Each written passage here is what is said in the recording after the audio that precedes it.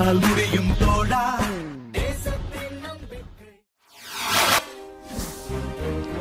நாகை மாவட்டம் கொடியாளத்தூர் ஊராட்சியில் கொரோனா தடுப்பு நடவடிக்கைகளை ஒன்றிய சேர்மன் ஆய்வு.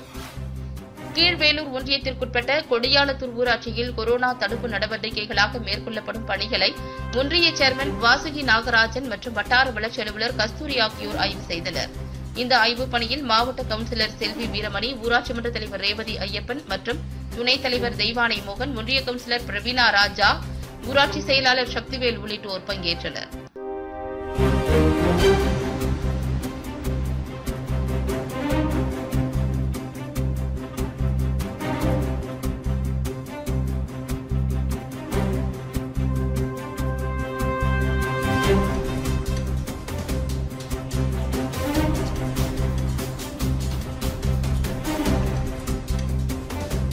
கீவலூர் ஒன்றியம் கொடியாளத்தூர் ஊராட்சி மன்ற தலைவர் ரேவதி ஐயப்பன் பேசுகிறேன் நாங்கள் கொரோனா வைரஸுக்காக கிருமி கொரோனா வைரஸுக்காக கிராமத்து வீடு வீடாக போய் பார்வையிட்டு கிருமி நாசினி தெளிச்சிட்டு ப்ளீச்சிங் பவுடர் அடிச்சிட்ருக்கோம் கடத்தெருவெல்லாம் போய் சமூக இடைவெளி விட்டு பா சரியாக கடைபிடிக்கிறாங்களான்னு பார்வையிட்டுக்கிட்டு இருக்கோம். இன்று கிருமி நாசினி ப்ளீச்சிங் பவுடர் அடித்தோம்.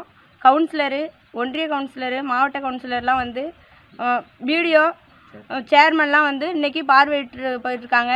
அரசு விதியை பின்பற்றி நூற்றி நாற்பத்தி நாலு சட்டத்தை பின்பற்றி அனைவரும் வீ ஊரடங்கு உத்தரவு விதியை பயன்படுத்தி வீட்டிலே அனைவரும் இருக்குமாறு கேட்டுக்கொள்கிறேன். நன்றி.